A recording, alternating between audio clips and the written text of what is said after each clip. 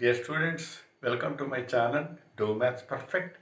Please subscribe and uh, share the episodes. Eighth Maths Simple Linear Equations Level 1 Starting point ax plus b equal to c is an example for simple linear equation. Here x considered as variable and a, b, c are constants that means number numerical values and its degree that exponent is 1 then only it is a linear equation. For example 1 solve that means find the value of variable. Here in this problem x is variable we have to find the value of x. So 8x minus 4 equal to 3x plus 11. In this problem, x is variable, uh, this is variable, this complete is variable and these two are numerical values. So, transfer unknowns to one side and knowns to one side. This minus 4 is a known quantity, 11 is a known quantity. So let us group them.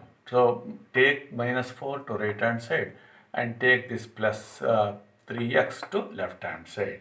We know that if we transfer from LHS to right hand side or our right hand side to left hand side, its a sign changes. If uh, it is having plus, it changes to minus or if it is minus it changes to plus for example this plus 3x changes to minus 3x similarly this minus 4 if we transfer that means from left hand side to right hand side its sign changes to plus 4 now 8x minus 3x equal to 11 plus 4 here is 8x minus 3x these two are like terms. But uh, signs are different. If the signs are different, we have to find the difference of those two with big number sign. The difference of these two is 5 and big number sign is plus. So the answer is plus 5x. Therefore left hand side plus 5x and right hand side both are having the same sign so we have to add them. So 11 plus 4 is 15 plus 15. Now 15, 5x equal to 15. Now x equal to means this uh, coefficient, this is not the term, this is coefficient 5. Transfer this to, that means cross multiply this 5 to downside. This uh, numerator, numerator comes to denominator.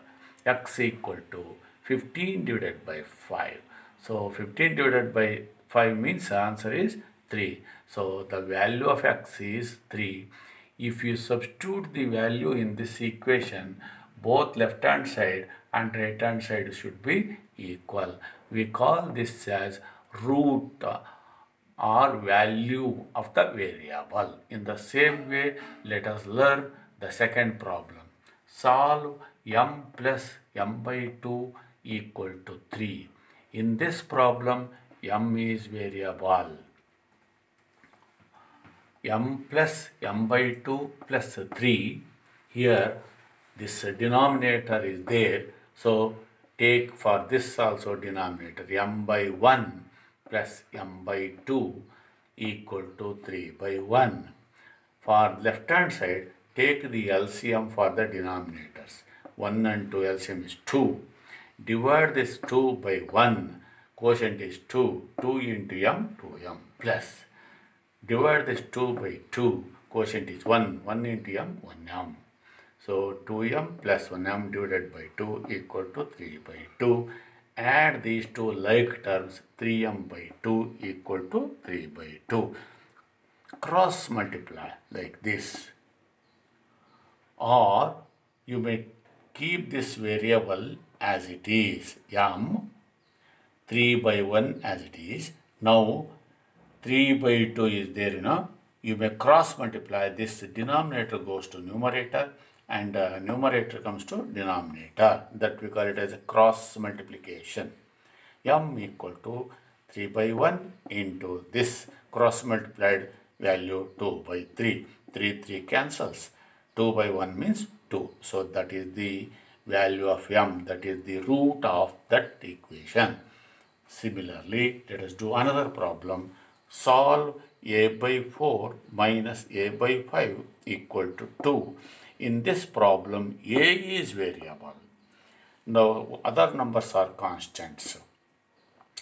Again for the same type take the LCM of denominators 4 and 5 that is 20 divide this 20 by 4 quotient is 5 5 into a 5a minus is there so put minus here divide this 20 by 5 20 divided by 5 means 4 4 into a 4a equal to 2 can be done as 2 divided by 1 the difference of these two these two are like terms with the like unlike signs. This is plus 5a and this is minus 4a difference of these two is 1 when a divided by 20 equal to 2 by 1 cross multiply 1 into a a 20 into 2 40 so in this way the method of solving simple linear equations